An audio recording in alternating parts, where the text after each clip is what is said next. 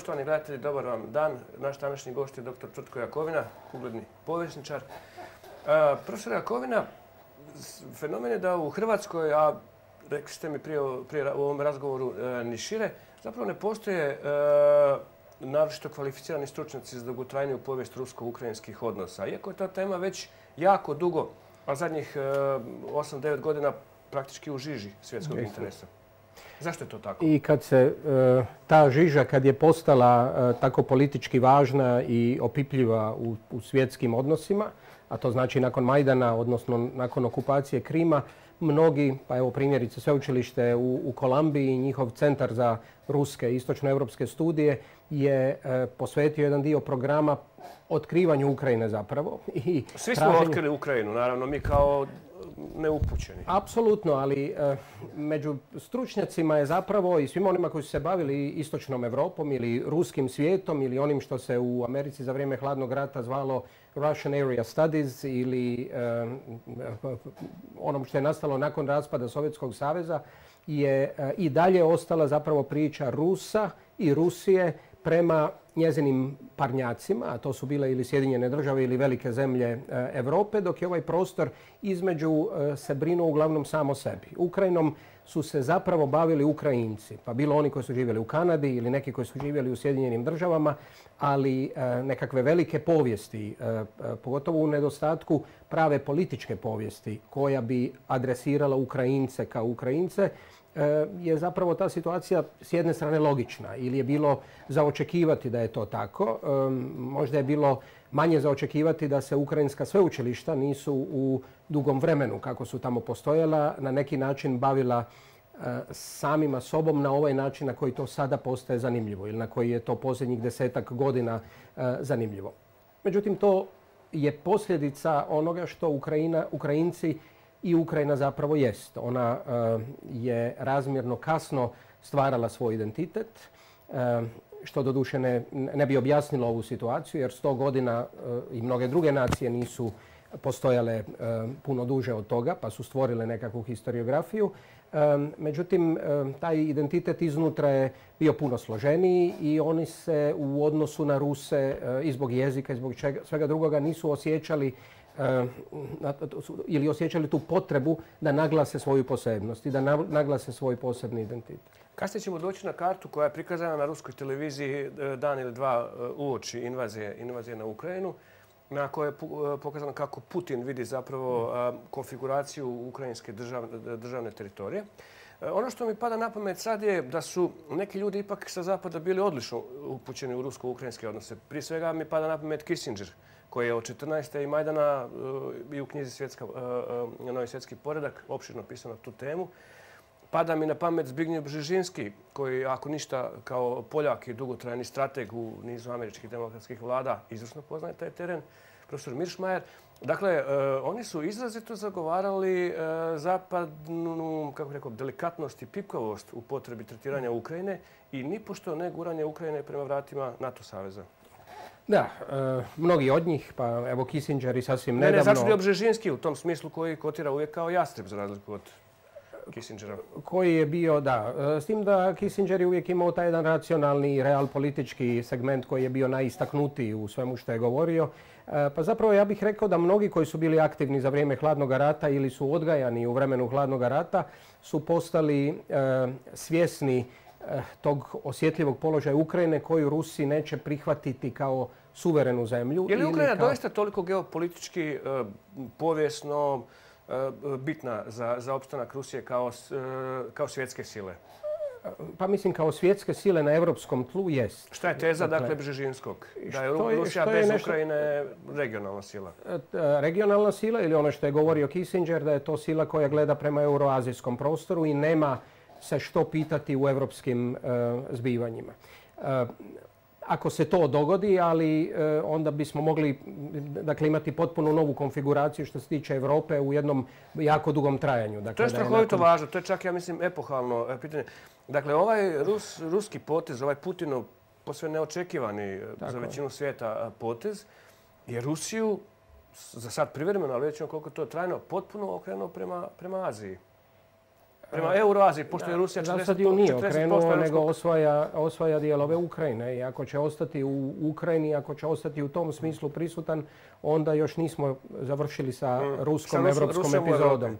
Ali ako bi taj rat završio tako da se Rusi povuku ili da taj rat završi u, smislu da Ukrajinci budu sami u stanju birati kako će sutradan, e, onda bi se mogle dogoditi velike promjene što se tiče Rusije, koja više neće biti ništa više osim jedne velike zemlje koja je na rubu e, Europe ili istočnoj e, Europi, ali tek marginalno prisutna na europskom kontinentu i okrenut će se prema onome što je nekad bio Sovjetski savez u nazijskom prostoru. Međutim, do tog trebamo još doći. Dakle, 120 milijuna Rusa nije nestalo. 120 milijuna Rusa najvećim dijelom žive na evropskom dijelu ili iza Urala. To je najvažniji dio Rusije i oni još uvijek imaju snagu koja nije uobičajena snaga. Bez obzira na sve one priče o njihovom BDP-u i na tome što... Da, između Italije i Španjolske. Jest, da, ali to je ako mjerimo na istim mjerama kao što mjerimo ostatak svijeta. Ako gledate koliko Rus može iznutra kupiti za ono što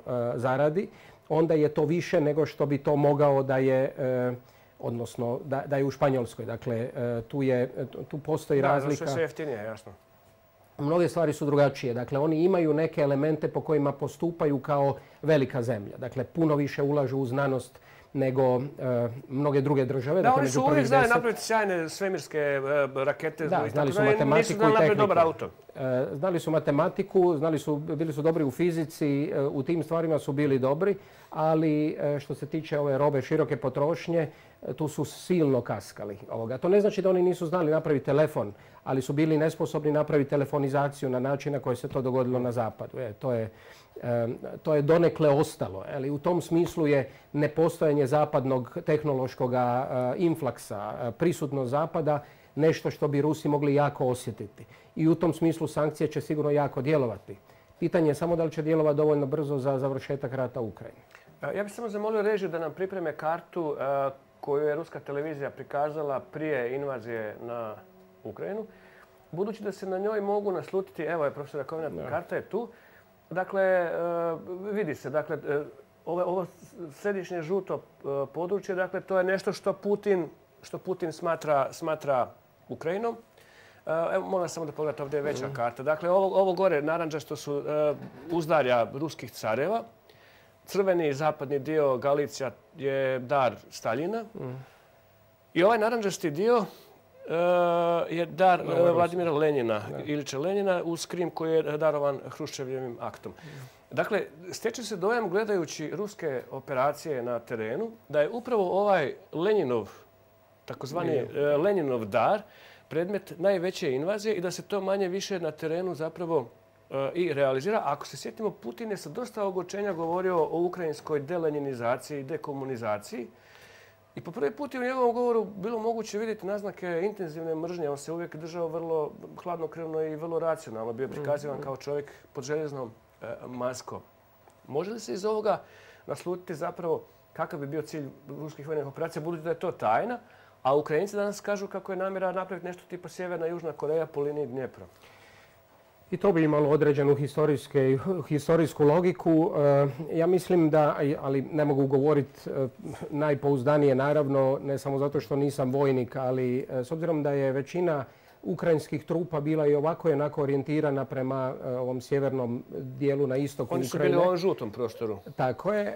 Ako bi ruske trupe zatvorile ovaj, ovu potkovu koju ovdje vidite, onda bi na taj način i izolirale i mogle potencijalno uništiti najveći dio ukrajinskih snaga koje su i ovako i onako bile koncentrirane na uh, Luhanski i Donjeck. To može biti jedan cilj i taj cilj se onda vjerojatno može predstaviti kao demilitarizacija uh, Ukrajine. Uh, međutim, teško mi je zamisliti što se iza toga događa. Tko, tko od Ukrajinaca može pristati na ovakvo rješenje? I koje je to ne može niti jedan ukrajinski Ja mislim da niti jedan više ne može pristati čak niti na Krim koji, koji su i mnogi na zapadu bili spremni otpisati gotovo čim se dogodio.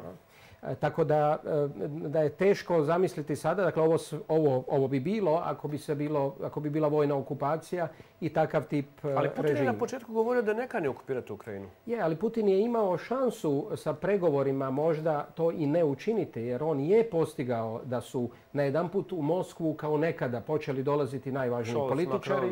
E, e, oni u koje on imao više povjerenja kao francuski e, predsjednik i njemački kancelar i drugi američki koji su dolazili. Na taj način je potvrđen ruski status velesile koji je godinama, treba desetljećima su zapravo zatim žudili. Žudili su zatim u hladnom ratu. To je bilo konačno ono što je Staljina definiralo kao intimno kao pobjednika, čovjeka koji je 20 godina vodio Sovjetski savez, koji je najprije bio izložen intervenciji e, poslije oktobarske revolucije stranih sila, pa onda izoliran, pa onda postepeno... Pod sankcijama? pod stalnim sankcijama i tako dalje, da bi onda završio za istim stolom sa dvojicom najvažnijih koji vode drugi svjetski rat. Ta osobna satisfakcija čovjeka koji je koji se svega toga mogao sjećati u ne tako dugom vremenu je bilo nešto što je učinila drugačijeg Staljina ili što je njega i, i, sovjetsku, sovjetsku državu konačno. Ali Stalin nikad nije bio sklon avanturama. Stalin nije za komunizam u Španjolskoj. Uvijek je vrlo realno percipirao odnose moći. Putin je ovdje napravio neočekivan potez. Kazaderski. Tako je. To je Zašto? E,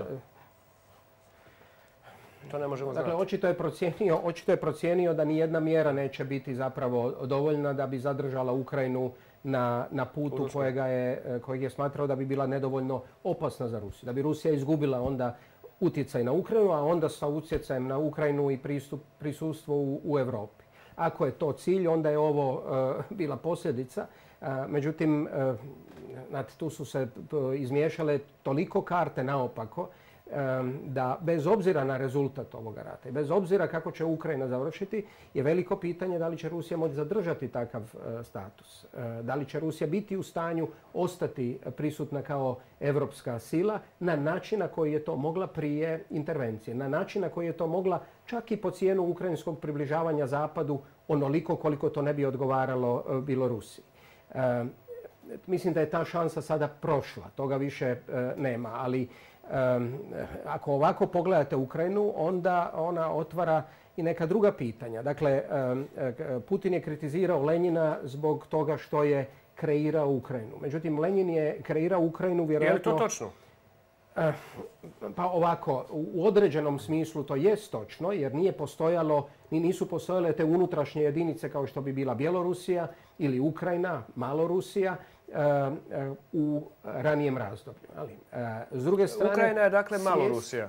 Tako je, tako I to je u carsko vrijeme bila jedna ideja da se e, ovdje objedinjuju tri dijela istoga naroda. Dakle, Velikorusi, Malorusi i Bjelorusi, e, od kojih su Malorusi bili Ukrajinci. E, to ne treba možda nužno miješati sa, sa Novom Rusijom koja je osvojena za vrijeme carice da, Katarine. to ćemo doći na to. Od kog su oni, od kog su oni zapravo preuzeli? E, područje Novorusije dakle, su ove dvije regije plus primorski pojas do Odese, ako se ne varam. Da. I malo e, zapadnije od Odese. Oni su oko toga ratovali sa Turcima, Krimom. Ratovali su, da. Dakle, A Odesa je na čim prostoru je to nastalo? Odesa je nastala kao na mjestu e, gotovo nepostojećega e, turskog sela jednog mhm. koje se tu nalazilo, ali toliko beznačajnog i utvrde koja je tamo bila e, da je jedino historijsko čudo da na tako povoljnom strateškom položaju nije u ranije razdoblje od, od Grka pa, i, pa i u, u osmansko vrijeme nastalo značajnije naselje kao što se razvilo nakon osvajanja carice Katarine E, koncem 18. stoljeća. A to je danas jedan od najljepših ruskih gradova, odnosno jedan od, ukrajinskih gradova. Od najvažnijih e, gradova, jedan od e, tako gradova koji su imali drugačiji, drugačiju povijest. Kulturno važan jako. Vrlo va, intimno, vrlo važan, referentan, a zbog Eisensteina i, i drugih svjetski poznat, barem po nekim vizurama, puno više nego mnogi drugi gradovi na području nekadašnjeg Ruskog carstva koji bi poput e, Rige zavrijedili biti jednako tako poznati. Ovaj, e, Odesa je dakle u toj kategoriji vjerojatno najuspjelijih e, urbanističkih gradova Osma, Ruskog carstva. Kazalište gradio isti čovjek kao je Hrvatsko narodno kazalište u Zagrebu i Rijeci. Da, mislim, važnije, mislim, važnije meni je interesantnije kako, kakvo je Vrijeme je bilo na samome početku nastanka Odese kada su guverneri, oni koji su upravljali gradom i brinuli se o gradu, bili redom stranci. Bilo da je to bio jedan španjolac, Deriber, koji je krenuo, pa onda Richelieu, Francus, koji je poslije postao predsjednik francuske vlade po on je bio što u Odesi? On je, on je bio guverner Odese, on je bio gradonačelnik Odese. Richelieu, dakle pranečak od kardinala Richelieu iz uh, Dimaovih romana i povijesnih fakata. Čovjek koji je, kao i mnogi plemići, koji nisu stali u službu Francuske revolucije, nego su bili na strani Burbonske dinastije, izbjegli vani i čekali trenutak da se u Francuskoj stanje promijeni, odnosno da francuski revolucionarni, a kasnije napoleonski ratovi završe. I ovdje je on pokrenuo grad. Ja sam i to može pokazati jednu, kako se čita povijest i kako se povijest uvijek iznova interpretira. U, knjizi koju sam ja čitao nedavno od profesora Charlesa Kinga o Odesi, jedan dio koji govori o izbijanju epidemije kuge u gradu početkom 19. stoljeća sam, inače podvlačim u knjizi, ovaj puta taj, te stranice nisam podvukao jer mi se to činilo ili nedovoljno interesantno, a pogotovo mi se činilo možda malo relevantno kad je koji stupanj karantene napravljeni. Ali kako je došlo do bolesti, pa onda koje su ulice zatvarali, kad su zatvorili luku, kad su zatvorili izlaz iz grada, kad su ljude zatvorili u kuće i organizirali prehranu stanovnika Odese, tako da su posebni dostavljači išli po ulicama i isporučivali hranu da ljudi ne izlaze van i da ne bi umirali u isto vrijeme, zbog čega nisu prestali veliki incidencija smrti, iako ih je zatvorio u, u, u kuće. Dakle, sve ono što je podsjećalo na vrijeme koje smo mi ovdje proživljavali ili još uvijek proživljavamo. I zanimljivo je zapravo kako se uvijek u prošlosti sve nešto može vidjeti iz, iz današnje vizure e, na nešto što, što vam se čini malo važno ili ne znam, Variola Vera koja je ostala samo film u, u jugoslavenskom kontekstu, kako postaje važno. Uh, Deriber, Rišelje, a onda Vronski koji su bili e, prvi guverneri e, Odese, bili su e, svi zapravo stranci, pa čak i ovaj treći koji je bio sin ruskog ambasadora u Londonu, završio engleske škole, imao je rođake u Engleskoj, govorio je bolje ili jednako dobro engleski kao što je govorio ruski. Oni vode tu Odesu i vode ju u trenutku kada još nema nacionalizma na onaj način na koji se pojavljuje u drugoj polovici 19. stoljeća.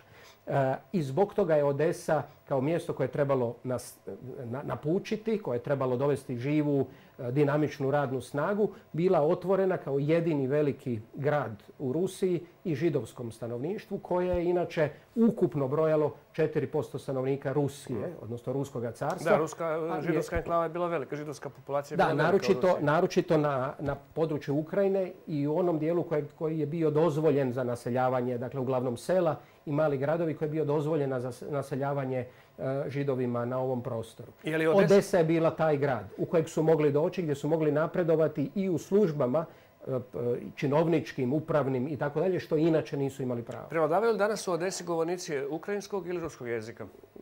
Gotovo u ogromnom dijelu su to rusofoni. Međutim, mi smo vidjeli po povijesti nove okupacije istoka Ukrajine da su e, i ova područja u kojima su rusofoni govornici bili većina, zapravo poprimili e, ukrajinski nacionalni identitet da pružaju dosta, dosta žestoki otpor. Čuo sam I isto će biti u, u Odesi. E, upravo na to smjera i moje pitanje. Ali s druge strane čujem, dakle, prema jednom objašnjenju da su ruske obaveštene službe servirale Putinu očito potpuno pogrešne informacije o raspoloženju duhova u, u, u Ukrajini. Dok je s druge strane druga interpretacija manjinska da zapravo invazija nije do zadnjeg dana bila sasvim sigurna, ali je nešto odlučilo u zadnji trenutak. Ruski generalšta bi objavio da je zapravo ukrajinska vojska iz Donbasa kanila poduzeti ofenzivu prema ove dvije. Mm. E, koja od tih interpretacija je vjerojatnija? Uh, mislim, obavešteno su Rusi očito uh, doživjeli fijasko, to je sasvim sigurno. Ja mislim da uh, Ukrajinci ne bi sami poduzimali e, bez suglasnosti e, onih na koje su mogli računati ili htjeli i željeli računati na potporu, sami poduzimati mjere. Ali danas se pokazuje da oni u smislu vojne potpore ne mogu računati ni na koga. Pa o tome se radi. Ja mislim da su oni, e, da su oni kao što je rekao bivši ambasador u Hrvatskoj, ukrajinski, koji se povremeno ovdje čuje, je li šutnja naših prijatelja boli nas jednako kao, kao kritike naših neprijatelja to je sada druga stvar. Dakle, možda u obavijesnom smislu bismo mogli govoriti da su i Ukrajinci očekivali nešto što je zapravo bilo iluzorno. Ja naprosto imam problem sa, e, dakle moguće naravno da tajne službe ne obave dobro svoju zadaću, da su tajne službe fokusirane ili mitološki naprosto određene i da ne vide stvari koje bi trebali vidjeti. Pa onaj Putinov famozni govor u kojem negira postojanje ukrajinske nacije neposredni, odnosno posredni dokaz tome. Dakle, on, on očito nije e, percipirao Ukrajince kao naciju koja se spremna boriti za vlastitu državnost. To je točno, ali on zbog toga, e, ja bih sada rekao, i svoje desničarske vizure je i napao ono što se, dakle, Lenin kada stvara Ukrajinu, Lenin to čini vjerojatno iz dva motiva. Jedan, što sam dolazi iz manjinskoga naroda. Dakle, Lenin, Leninov otac, Lenin konačno sa svojim izgledom je govorio jednom malom jeziku ili pripadao jednom malom narodu uz Volgu koji se afirmira kroz rusku kulturu i ulazi onda u, u, veliku naciju. Zaboravio sam ime. Dakle, to je, govorimo o onima od par desetaka tisuća ljudi možda. Ali je on osjetljiviji na nacionalno pitanje nego što bi to bili drugi. Kao i Stalin koji je kao sekretar za narodnosti dao neovisnost, odnosno potvrdio neovisnost Finske. Recimo, recimo, tako da. Dakle, to je, to je dakle, to je jedan motiv bio. Drugi motiv je bio da se ukrajinski identitet uh, iskovao uh, na tijekom Prvoga svjetskog rata i da se moglo osjetiti da postoji nešto što bi bilo posebno. Uh, to se pak nastavljalo na ono što je trajalo u 19. stoljeću gdje Ruski, čak, Rusi čak i u velikoruskoj ideji nisu tražili pretapanje u Ruse, Bjelorusa i Malorusa, odnosno Ukrajinaca. E, recite mi sad, e, dakle, ruske vojne snage su na terenu očito zapele. To je evidentno bio čovjek vojni stručnjak ili ne. I prema svemu sudeći sad slijedi njihovo dugotrajnije pregrupiranje. Počeli su sad napadati ciljeve u zapadnoj Ukrajini, pored Lavova, to je dijelom vjerojatno i zbog Bajdena. Ali prilično je izvjesno da mi možemo nakon tog pregrupiranja očekivati nove žestoke borbe. Predsjednik Bajden je jučer u Poljskoj izjavio da, nas da, se moramo, da moramo biti pripravljeni na jedan dugi i istrpljujući rat. Da. To ne ide nikome u, u, prilog. E, sigurno ne ide A Biden sigurno ima također procjene svojih obaveštajnih službi. Vjerojatno nije govorio na pamet. Ne, ne mislim da je govorio na pamet, iako smo još uvijek u fazi kad je vrlo važno uh, održati um, moral stanovništva, davati poruke koje su pomalo ratne i tako dalje. Ta njegova izjava, dakle, kako je uh, za ime Boga nemoguće da taj čovjek više vlada Rusijom, koja je izazvala cijelu lavinu reakcija i ogočenje od uh, samog Washingtona nadalje, je nešto što je zapravo, kako tumače analitičari, Putinu dao za pravo u tome da on nije samo paranoik, nego da mu stvarno rade u glavi. Da, dijelom će to pomoći vjerojatno Putinu u ovom trenutku. Možda je e, nastalo i peglanje onda Bidenove izjave i od njegovih najbližih suradnika, e, ministra vanjskih poslova u Izraelu. Nije bilo osobito uvjerljivo. Mislim, bilo je potpuno jasno što je on rekao. E, da, ali nastalo je peglanje zbog toga što e, s jedne strane imamo, e, dakle, mi živimo od kako postoji svijet, živimo u, u, u vrijeme kada za mnoge lider biste mogli reći da su nedorasli ili su neadekvatni ili su zločinački. Biden ima dug, da. S njim, naravno da je njegova pozicija drugačija i da težina njegovih riječi je drugačija. Međutim, možda ne treba u tom smislu prema Bidenu biti prestrog, jer kada je spomenuo iranski otpor na samom početku ukrajinske krize i pomiješao Irance i Ukrajince, uh, oni koji ga prate znaju da je on od 72. kada ulazi u, u visoku politiku u Sjedinjenim državama bio sklon gafovima toga tipa. I e, tako da ga da možda ne treba Pa i Reagan je bio starosti, sklon takvim gafovima, da. Jest. možda Biden nešto više ili možda je malo manje bio brifiran ili drugačije. On je dosta star Jer je bio, da, ali možda ga ne treba onda optužiti da dolaze greške zbog starosti ili zbog eventualno njegovog stanja, nego je naprosto njegovo djelovanje do sada bilo tako. On je naprosto znao nekad pogriješiti na taj način verbalno. Tako da to može biti jedno tumačenje ove izjave. S druge strane, ta izjava eventualno će pokvariti sutra dan. Što ako Putin ostane a povuče se. Što ako s Putinom dođete u potrebu da radite nekakav posao? Na koji način to radite ako ste ga Navodno su ponude iz Vašingtona već upućene prema Moskvi, dakle da i dalje kane razgovarati sa Putinom. Upravo nakon ove izjave.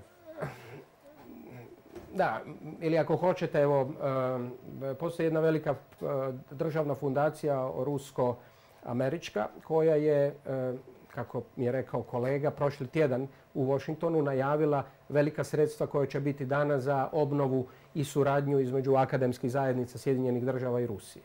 Dakle, e, i to je sad, prošli tjedan, treći tjedan rata e, e, u Ukrajini. Tako da suradnja će u jednom trenutku se vjerojatno morati obnoviti i puno prije nego što bi to možda u Ukrajini pa i mnogim drugima bilo po volji. Ali do te faze trebamo doći. Ovaj rat mora doći do nekakvog raspleta. Pitanje je samo što to znači, ponovo se vraćam za Ukrajinu. Ukrajina koja je do sad izgubila 10 milijuna ljudi. E, Ukrajina koja... 10 e, milijuna mislite na, koji su izbjegli, koji su izbjegli, koji su izmješteni, koji su interni, interno pomaknuti, oni koji su izašli van. To ne stvara sretnu situaciju za bilo što, organizaciju obrane, teško računate. To, to bi mogli malo detaljnije analizirati. Jučer je poljska televizija, državna televizija, tražio sam izvor, objavila kartu e, na kojoj bi trebale ući e, poljske mirovne snage. To je sticajem okolnosti karta upravo ovih Stalinovih podarka e, Ukrajini. Karta zapadne Ukrajine sa Lavom i područjima koja su povijesno bila Poljska. To znači da se negdje već lagano razvijaju ambicije za komadanjem.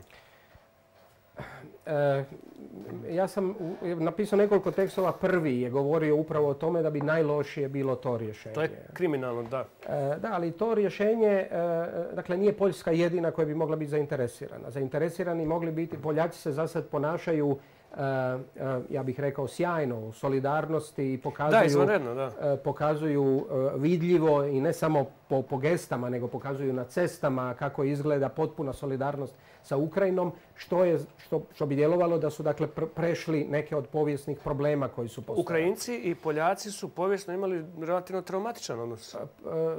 Rekao bih do jučer. Do jučer, Rekao bih možda do Majdana su te stvari bile vrlo problematične ovoga, ili problematičnije nego što bi e, se moglo pogotovo u svijetu današnjega.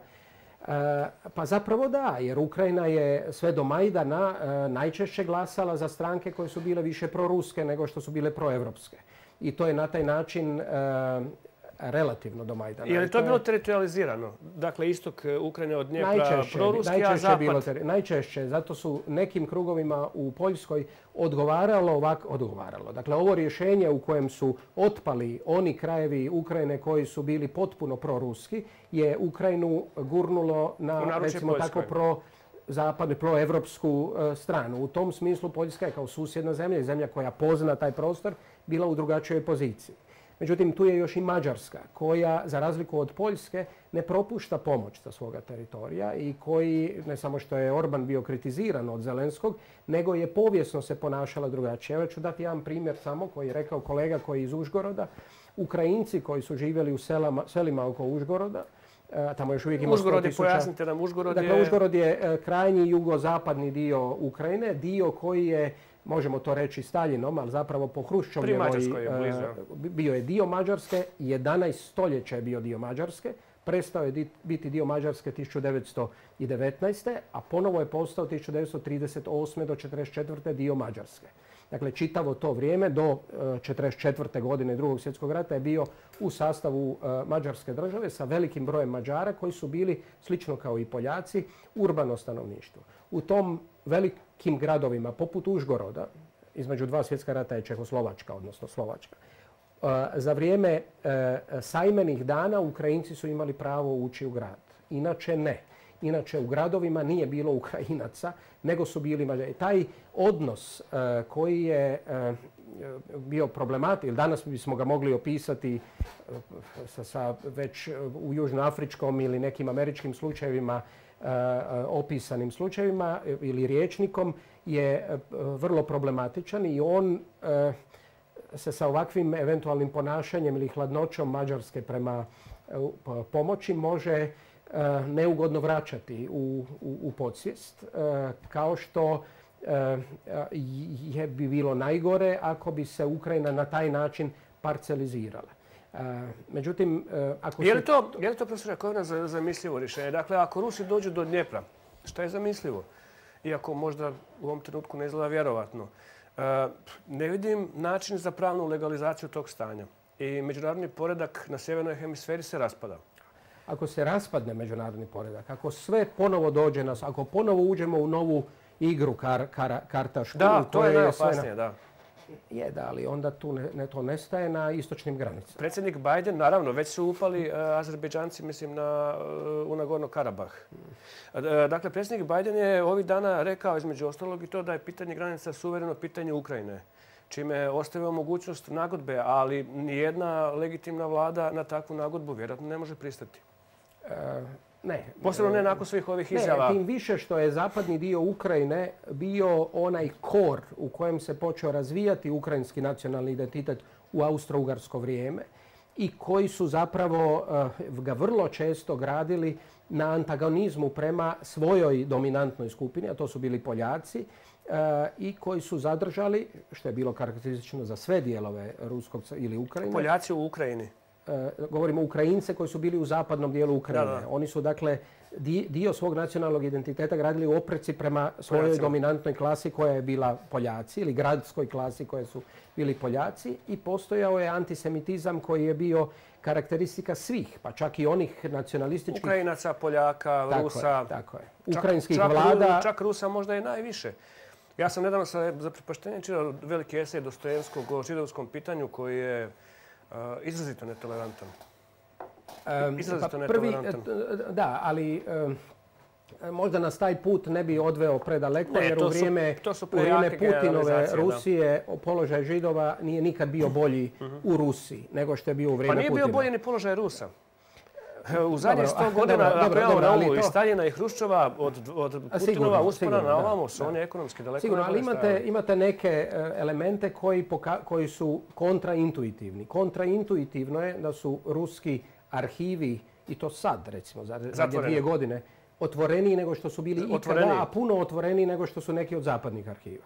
Dakle, u tom smislu, kad biste gledali kroz te, kroz te naočale ili kad biste gledali kroz naočale što profesor Cohen sa Pittsburgha govori o sa Princetona, pardon, govori kao lakmus papira, to je odnos prema židovima, ne bi možda bio najbolji put za razumijevanje onog što se događalo u Kremlju sada. U da, za zadnju antisemitski ispad je bio sa Stalinom, mislim, liječničkom aferom pred njegovu smrt kad je dao da se svi židovski liječnici pohapse. Da, ovaj, e, e, mislim, antisemitizam je bio endemska stvar na tome prostoru, a prvi, e, nakon 160 godina antisemitski ispad se dogodio baš u Odesi, koja je bila grad koji je od svog osnutka, pa gotovo stotinu godina do 1880, 1881. godine, funkcionirao kao mjesto gdje su židovi imali, e, gdje su bili prihvaćeni, gdje su mogli biti na drugačiji način prihvaćeni, ali sa nacionalizmima koji se onda razvijaju u drugoj polovici 19. stoljeća,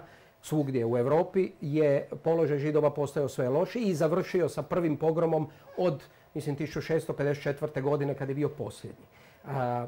I od tad i tamo se zapravo rađa ideja o seljenju, o stvaranju židovske države koja će baš poput država kakve se u Europi stvaraju među drugim narodima biti onda i njihova. Ako se... trebamo odrediti gdje. Ispričam se, samo bi testirao e, pamćenje. Ako se ne varam, 72. Sovjetski savez zabranio židovima iseljavanje u Izrael. I onda su zapravo zavedene sankcije Sjedinjenih država koje su skinute tek negdje dvije godine prije, prije, prije Majdana. Dakle, te sankcije jako dugo znaju trajati.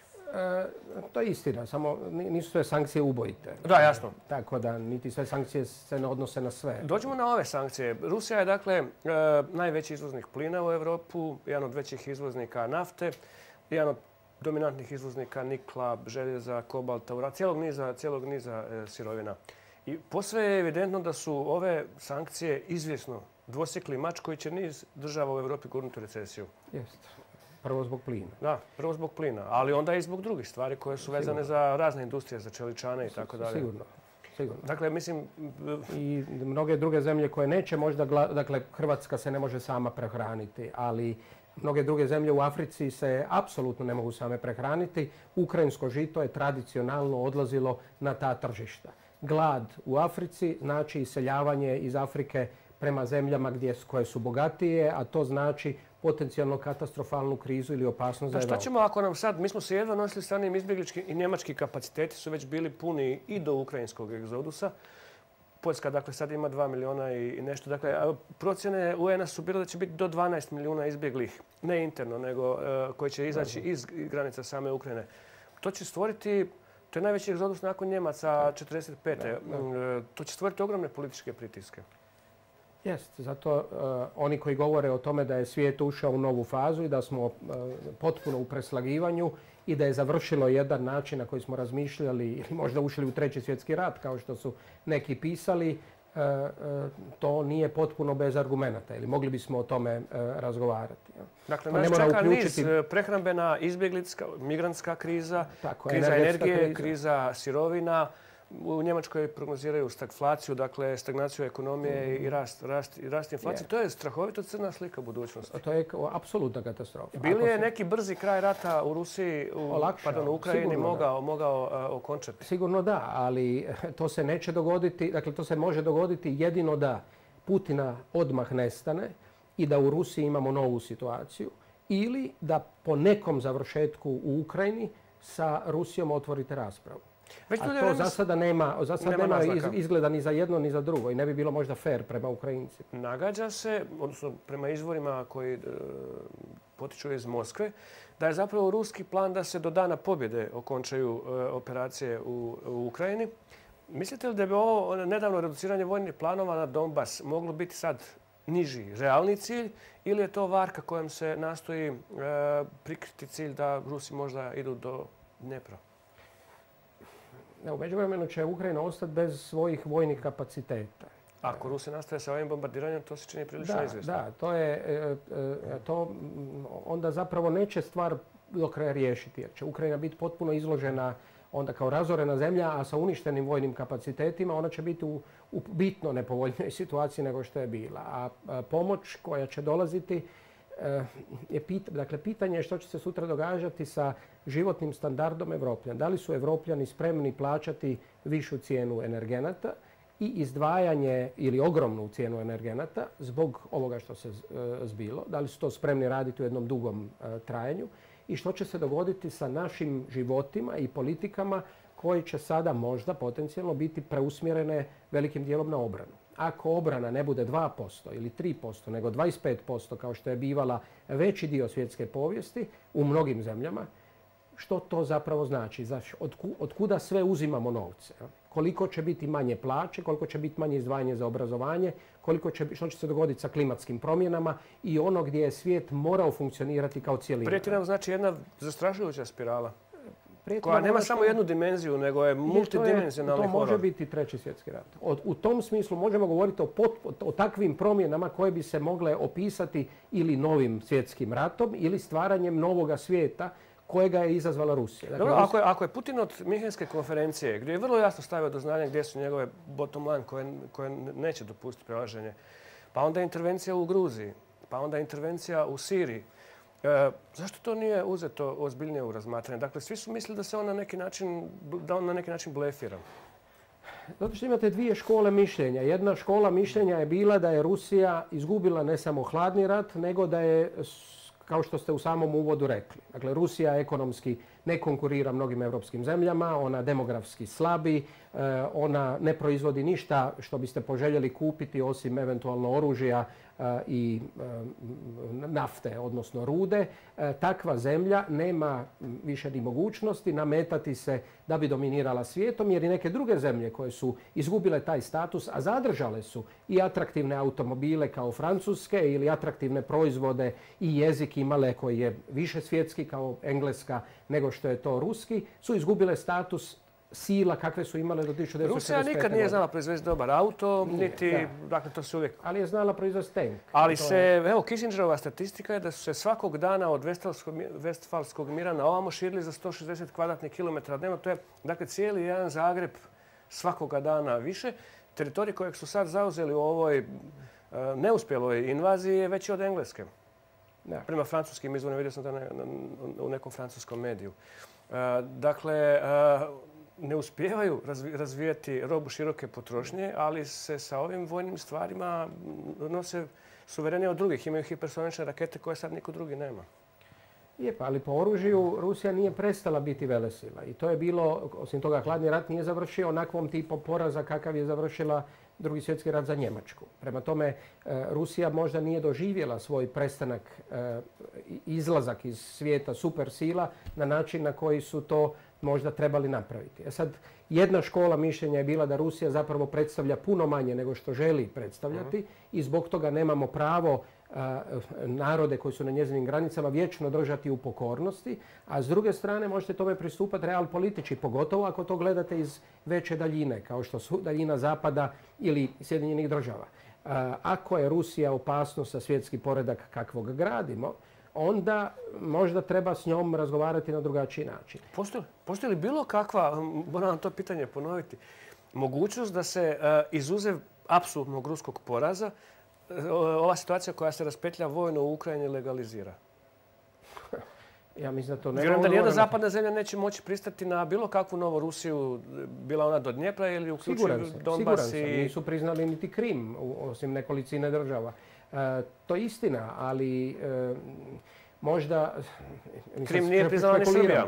Molim? Krim da, nije špekuliramo sada. Mislim, možda uh, Rusija, dakle, Rusija je sad dobila ogromne sankcije, a bila je iza stvaranja neovisnih Osetija, Eh, Abhazija, intervencije na Krimu i tako dalje, što su sve povlačile određen tip sankcija, pa očito te sankcije nisu dirnule zapravo. Zašto nisu okupirali cijelu Gruziju kad su evidentno mogli bez osobiti problema doći do Tbilisija? Pa ja mislim da je to stvorilo dojam da, da, oni ne žele više nego eh, neke segmente. I da su oni htjeli stvoriti taj dojam. Tako je. Da, da je to bila poruka, dakle, drugim riječima. Ali, dakle, oni su stvorili, dakle, Gruzija je došla jedno očajno stanje E, Gruzija je izgubila, ne mogu reći da je izgubila potpuno vjeru za zapad, vjerojatno nemate razmišljati na drugačiji način, ali zapravo je poruka bila poslana.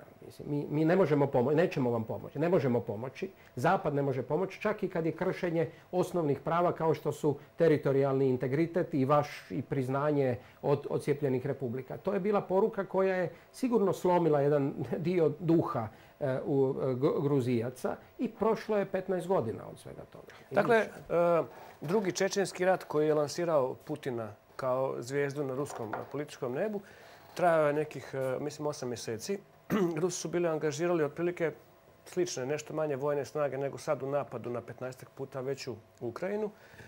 I znamo svi kakva je bila kako, kako je izgledao krajolik e, Gruzije, odnosno posebno Groznoga nakon toga. Dakle, to je bila spaljena zemlja što vidimo sad i u Mariupolju. Uh, Mariupolj je jednim dijelom ovako žestoke borbe zato što je tamo famozni bataljon, odnosno PUK, pukovnija Azov. Nije li to, drugim, a nije li to u drugoj nekoj dimenziji zapravo i poruka za drugu fazu rata? Dakle, da Rusija pokazuje da se više neće ići onako kako se, kako se išlo u prvoj fazi? Pa to može biti, ali to su vam uvijek ta učitavanja. Jeli, mi do dana, dana današnjeg se Dresden zapravo objašnjava i tim. Jeli. S jedne strane to je mogao 45. godine. Tako, kome je to poruka? da li je poruka prije svega bila Japancima? Što se može dogoditi ili Njemcima? Što će vam se dogoditi ako pretvorite svaku kuću u utvrdu? Ako se ne predate, ovako će to izgledati. A do nas ne možete ni doći.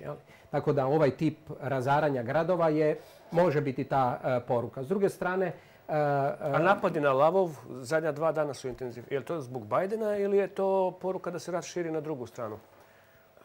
Pa mislim to je poruka da je Ukrajina u ratu, da uh, opskrba, Da, gađaju im naftu i, hranu, što znači da možemo očekivati dugotrajnije istrpljivanje resursa. Pa može biti i to. Međutim, znate, vi resurse ne možete, mislim, uništavate resurse, morate jest svaki dan ili naftu trebate svaki dan. Trajao rat još mjesec, tri ili tri godine, to jesu legitimne, mi legitimne, to jesu ciljevi koji u vojnim glavama stoje. Tako da mislim da tu Možda se iz tog može iščitavati više. Meni se čini da je to ono što bi vojnici e, činili bez obzira e, kako se stvari razvijaju. Ulazimo u završni dio razgovora. Evo, još bih vas zamolio samo da probamo malo rekonstruirati ove ideološke postavke, idejne postavke tog rata, a to se manje više svodi na glavu Vladimira Vladimirovića, Putina. Dakle, primjećuje se dosta očita e, dosta, dosta očita podudarnost između njegovih stavova koje je iznio neposredno pred invaziju i stavova Surkova, Dugina i ostalih ideologa neokonzervativne, desne, desničarske Rusije. E, ti stavovi polaze od e, procjena ne samo o nužnosti, nego i o potrebi duge geopolitičke samoće Rusije koju najavljuje Surkov. Dakle, tog potpunog okretanja prema Kini, prema istoku, prema jugu, prema, prema Africi i tako dalje i potpuni uzmak s evropskog kontinenta. E, već neko vrijeme e, su, ja bih rekao deset godina unatrag, kad se radila nova strategija e, ruske države, bilo kakvo partnerstvo sa evropskim zemljama je izašlo iz tih planova. Jel? Tako je. Ovaj, tako da... Ta strategija se čita kroz šta? Kroz Putinove programske tekstove ili? moja informacija o toj strategiji je došla od jednog ruskog profesora koji je radio na, na tome on je zgrošen s ovim koliko smo čuli e, što se sada događa, ali e, je bio jedan dio od tih koji su u intelektualnom smislu ili bili barem upućeni u to što se e, događalo. Da, je partnerstvo prestalo i da se Rusija okreće sebi. Ali to ne bi bilo zašto su zašto su onda gradili plinovod Sjeverni tok 2? Dakle, meni je bilo najčudnije da Putin završava 9 milijardi eura vrijedan plinovod i onda se okreće prema istoku gdje ima samo jedan. Da se okreće. Dakle, e, ja mislim da je potreba ili želja za suradnjom e, sa Zapadom ili barem nekima na Zapadu ovoga, da ona nikad neće prestati. Rusija je trajno raspolučena. Ali Rusi su danas na Zapadu kako bih rekao, e, žigosani? Ne, ne... Jest i to će ostati jedno vrijeme. Dakle, će se nasloniti na onaj tip e, odijuma koji je postojao u, u hladnoratovsko vrijeme na neki način koji se vidio kasnije. E, Putin je sigurno učinio ovim, ja bih rekao, jednu važnu stvar za sve liberalne krugove na zapadu zbog toga što je njegovo sponzorstvo ekstremnih desnih krugova. Koji A vidjeli smo ga odavde do Pariza, do Leipziga, posvuda. U Rima ili Milana, Zagreba i tako dalje. U tom smislu to može biti, ja bih rekao, dobar rezultat. Da, Rusija je sto godina izvozila lijevu i lijevi ekstremizam, sad izvozi zadnjih 20 godina desni. Ovisno kako gledate na to. Rusija je izvozila e, neki ekstremizam ili neke ideje koje su Rusiju stvarale i dovodile u centar i ona je bila u centru, jer ako imate ljude u Rijeci koji se dive Putinu i u Milanu koji se dive Putinu i u Parizu koji se dive Putinu, onda je on centralna figura. Taj tip eh, gledanja na Rusiju kao centar, bilo trećeg Rima, bilo centar pravoslavlja, bilo centar marksističke ideologije ili sada jednog novog poimanja Europe koja, kao što je Kiril rekao, će biti konzervativnim vrijednostima, oni računaju na određenu sljedbu koja je globalna. Ali sljedba se sad odrekla od Marine Le Pen do njegovih do naših medijskih Sve traje mjesec dana sada, tako je. Ovoga, e, vjerojatno su neki ugovori bili potpisani koji će biti vrlo neugodni za te političare i za te, ili, ili tweetovi će biti vrlo neugodni, da ćete moći godinama vraćati te stvari, da ti ljudi neće biti do kraja suvereni, neće biti neucijenjeni ili bit će ucijenljivi u životu. U tom smislu je, ja bih rekao, ovo postiglo jedan dobar e, e, efekt jer su ekstremne desne ideje sada uh, otprilike pokazale kuda bi to moglo ići. Ali one prestaju biti financirane na liniji ruskih uh, nafte, nafte i plina, yes. ali sad će se zbog recesije i stagflacije početi dizati samorodnu. Kao što je to u Europi već bio slučaj kod razdoblja kriza, To je nažalost moguće. To je nažalost moguće. Zato je pitanje kako ovaj rat, kuda ovaj rat dovodi, koliko dugo traje i vodili u novi svjetski sukob, odnosno u novu preraspodjelu snaga ispoče... totalno. Da, profesor Kovina, zašto smo mi zaboravili? Ja se sjećam iz svog djetinstva vrlo popularnog pojma detant. Dakle, detant je politika mira. Sjećam se također e, e, iz uh, djetinstva pojma, omiljenog pojma druga Tita, miroljubiva, aktivna koegzistencija. Čovjek je usput, bude rečeno, zarobljen upravo u okolici Ivano Frankovska, kad su ga Čerkezi nabili. Tako da je ta Ukrajina nama zapravo jako blisko ratište, da tako kažem. Zašto je detant zaboravljen? E, Čini se da u prostorima moći ne može biti vakuuma. Ako se jedna povlače, druga ulaže. Ne samo da je zaboravljen detant, nego je jedan rezultat e, detanta u Europi, a to je bilo da se vratio jučer sa konferencije u Gracu koja je završavala e, razmatranje NN grupe zemalja prema Helsinkiju. Dakle, neutralnih i nesvrstanih zemalja prema Helsinkiju 1975. godine. Jedan od zaključaka ljudi koji su tamo bili, mnogi koji rade u u bliskim, u Washingtonu, u ustanovama koje su bliske vladi i tako dalje, su rekli više teško zamisliti da bi se ikada mogao pronaći neki diktator koji bi potpisao ono što se 75. godine na vrhuncu detanta u Helsinkiju potpisalo. Dakle, imate treću korpu, da garantirate ljudska prava, da otvarate mogućnost da su granice promjenjive, ali samo miroljubivim putem, što je bio dogovor za Njemačku ili bilo vrlo važno za Njemačku koja je e, iza toga ušla. I to jedno ozračje se sada čini gotovo, dakle taj proces je gotov, a s jedne strane se čini nemogućim da bi bilo tko u bilo kojoj zemlji gdje su takvi režimi ikada pristao na nešto što potencijalno može imati korozivno djelovanje kao što je to imalo u Sovjetskom e, savezu ili se percipiralo kao da je e, e, odlučilo ili pomoglo između ostaloga raspadu Sovjetskog saveza, odnosno istočnog lagera. To je odgovor zašto je detant stavljen u drugi plan, između ostalog. Ovisi to pomalo i o kvaliteti političara.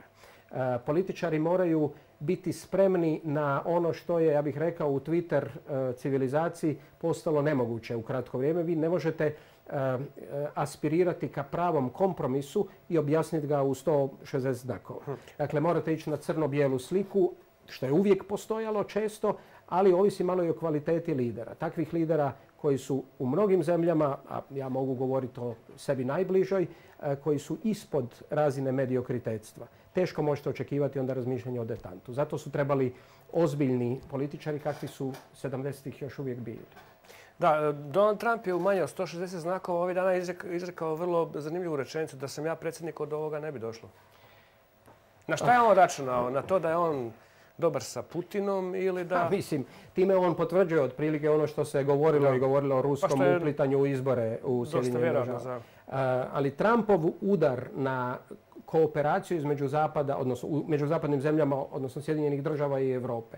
Uz COVID i sada ovaj rat je možda temeljito uzdrmao ekonomski poredak kakvog smo uh, gradili. On nije svima jednako donosio koristi, ali svi će imati ogromne gubitke uh, kad se jedan put, jer ne znamo koji novi nastaje.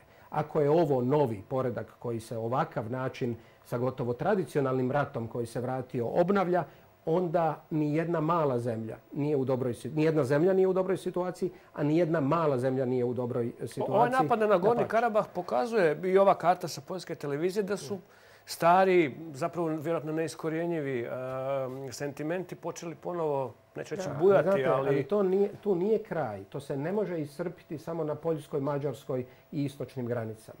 Ima i mnogi zemalja na zapadu, a naročito jedna velika zemlja na zapadu, koja je koja po istom modelu može biti također nezadovoljna sa e, granicama kako, kako su bile stvorene. Ako se to otvori, onda... Na kojem mislite? Na Mađarsku? Ne, mislim na Njemačku. Ako, ako otvaramo svu, sva ta pitanja, ako otvaramo uh, otvara, ulaganje u, u vojsku i slično, sve što je došlo sada sa Putinovom agresijom. Čudo, Orban je koji stalno ima kartu ove pred, Mađarske, predtrijanonske Mađarske, u tom smislu vrlo miran.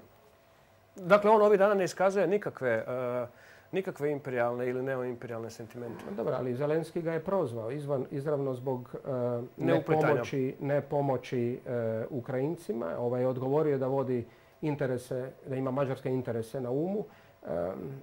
I on je zapravo efektivno, danas sam čitao, žena je čekala 30 sati na ulazak u Slovačku, a mađarska granica je prazna. Međutim, rekla je Ukrajince uglavnom ne puštaju, puštaju one koji su mađarskog porijekla e, u Mađarsku.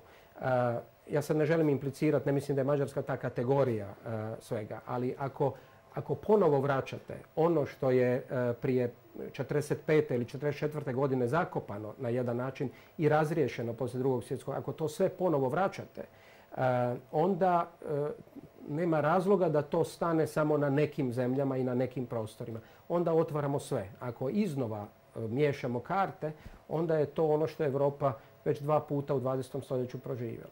Nakon Napoleona, mislim da time možemo i privesti kraju, imali smo razdoblje stogodišnjeg mira u Europi koje je bilo uvjetovano i strašnim zapravo cijenama koje, koje su napoleonski ratovi iznedrili. S druge strane, nakon 1945. evo imali smo u Europi sa našim intermecom sve do Ukrajine. Ovaj ukrajinski rat je strašan i ako se okonča nekim koliko toliko prihvatljivim mirom, on bi mogao opet zajamčiti. Šta smo iz njega, šta bismo iz toga svega mogli naučiti? Napoleonski ratovi su proporcionalno prema broju stanovnika Europe onoga vremena odnijeli jednako žrtava kao prvi svjetski rat. Dakle, to, je, to su bili užasno krvavi ratovi, bez obzira što se ne vode sa civilima, nego se vode samo, sa, vojnicima, manje više, uh, u tako širokom uh, prostoru Europe i nešto malo izvan uh, Europe.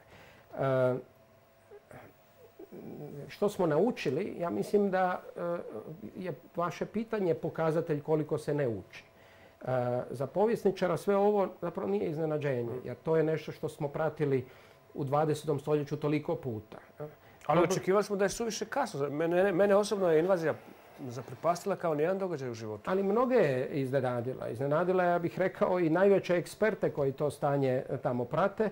Pa smo sada tu. Počelo je nešto što se čini potpuno nelogičnim. Ali tolike stvari su se u retrospektivi činile potpuno Hoćete reći da ne možemo naučiti ništa? Pa ja hoću reći da, da se jako slabo uči i da... Uh, da, da svaka generacija na drugačiji način gleda na ono što se dogodilo. Mislim da se jako slabo. Dakle, da je naprosto ljudska priroda, nažalost, jednim dijelom takva. Raspadi mm. koalicija, svađe unutar organizacija koje nastaju iznova ili koje su dobrovoljne, pa se svaki puta netko očito pokazuje nešto o ljudskoj prirodi. E, ili želji da netko ispliva, da bude dominantan i tako dalje. To je možda e, i, i ovdje. Međutim, za Ukrajince pomoć treba doći sada, jučer, i to na drugačiji način nego što, što je dolazila ako više itko misli zapravo o njima. Ali sve ovo o čemu se govori, govori se zapravo o svijetu koji će biti kad jedan put rat u Ukrajini nas prestane na jedan način. Bez da se zapravo valorizira što je možda njihova mogućnost, što je njihova želja i što će biti od nacije od 40 milijuna ljudi. Može li se očekivati da Rusija retrira u smislu da ponudi Minsk 3 i da ponudi zapravo e, dvije odmetnute republike u sastavu Ukrajine kao konfederacija, dakle da, ide, da se ide neko rješenje ala Gruzija. Zar to nisu mogli dobiti sa pritiskom za vrijeme pregovora koji su bili još u sjeći? Pa nisam vidio nigdje da, im je, da su Ukrajinci spremni potpisati Minsk 2. Oni su cijelo vrijeme retrirali od toga. Da, to je istina. Bilo je tu e, grešaka i, mislim grešaka, bilo je tu stvari sa ukrajinske strane svo ovo vrijeme koje možda moglo su se drugačije rasplitati. Možda se možda i kvaliteta njihovih političara mogla biti sretnija e, ako, ako ih imaju ovoga. Međutim, u ovom trenutku, nakon ovolikih žrtava i ovolikih razaranja, teško mi je zamisliti jednu i drugu stranu da će ići na taj tip kompromisa koji se mogao lako postići ranije. Dakle, A teško ili nikako sad? svakim danom to postaje sve teže. Ali ne znam koliko bi to bilo pošteno prema Ukrajini koja je sada stavljena u situaciju da vodi zapravo zapadni rat ili da je miljenica zapada, ali e, dogod su oni spremni se boriti manje više sami. Doći na jednom mjestu piše kako bi Stalin da je 35. znajući šta je proizvela kolektivizacija masovne žrtve pa i taj teški pomor u Ukrajini, da je znao koja je cijena toga da ne bi nikad išao u to. Mislite li da bi Putin, da je znao koja će biti cijena, ikada ušao u ovakav rat? Ili je ruska geopolitika i ideologija... Znate, kad imate zemlju čovjeka koji vlada 22 godine i čovjeka koji vlada na način na koji se vladalo iz Kremlja i koji ulazi u način vladanja gdje on sam ne bira potpuno niti obrazce vladanja, niti interese i tako dalje, da, da netko može biti potpuno u deluziji oko osnovnih stvari. Meni se to čini nevjerojatnim. E, ja to zapravo svime što sam čitao o prošlosti, ne čini mi se da su ljudi bili u tako potpunom e, neznanju e, ili barem e, ako je riječ o vladaru koji je mogao biti neurotičan ili, ili nedovoljno informiran, da mnogi drugi to nisu na taj način doživljavali. Tako da mi se čini da, da njega svesti samo na jednog zaluđenog, bolesnoga, pod problemima čovjeka i njegovu sredinu koja se boji bilo što reći. Čovjeka koji je u covidu potpuno se odvojio od bilo kakve mm. referentne grupe. To su popularne teorije. Da. Ja mislim da je to, da to daje previše kredita, nažalost bih rekao, mnogima u Rusiji. Mislim da su mnogi bili na ovom tragu i mislim da zato nije trebao niti Dugin, niti neki drugi. Mislim da su to ideje koje su perzistirale u Rusiji u mnogim trajanjima, u dugim trajanjima, da je taj sukob između proevropske uh, i, i, i uh, rusofilske, da, dakle na Rusiju orijentirane uh, ideje Rusije i kako treba i koje običaje treba naglašavati da je to jako dugo tamo prisutno. I mnogi od onih koji su bili šampioni na zapadu, kao što je Solženjicin bio primjerice. Da su se priklonili ove pravoslavne verzije. Solženjicin je bio, Solženjicin je bio veliki protivnik upravo u Helsinkija 75. godine. Mhm. Bio je ogroman protivnik svega što se tobože Rusiji, odnosno Sovjetskom savezu u tom slučaju izašlo u susret, dalo, predalo i tako dalje. E, zato što je smatrao da, da ne treba dati ništa. Mislim, kasnije smo mi tumačili da je to bio put koji je jako efikasno i bez žrtava doveo do pobjede u hladnom ratu Zapada ili do raspada Sovjetskog saveza. A, a kad se Solženjicin vratio, onda je on bio potpuno gotovo pravoslavni mistik koji je govorio ne samo o velikoj Rusiji, nego o carskoj Rusiji e, zapravo. Tako da taj, taj sukob, te ideje koje, koje su sada možda kod nekoga tko se smatra dvorskim filozofom. Iako ja mislim da netko tko vodi sam praktički zemlju 22 godine od 120 milijuna ljudi i želi biti svjetski vladar, on vrlo malo ima vremena za bilo kakve filozofske rasprave. E, e, a Ali pisao je poduže, poduže eseje. Da. Tako da, da je, e, ali to je nešto što je bilo prisutno. Nažalost, ta tradicija je ovdje preuzela. Eh, ili je postala dominantna. I ona je dovela do ovog što, eh, što, što je s jedne strane najgore za Ukrajinu, ali potencijalno može upropastiti. I za, može upropastiti Rusiju i sve nas. Hvala vam profesor Jakovina. Ostajem nažalost samo da se sa predsjednikom Bajdenom složimo da nas vjerojatno očekuje zapravo jedan dugotrajni sukob. Da, naročito Ukrajince. Hvala vam, bit će još prilike da razgovaramo o ovome. Eh, bilo je to sve za danas. Gledajte nas u prvom u prvom idućem terminu. Doviđenja do sljedeće emisije.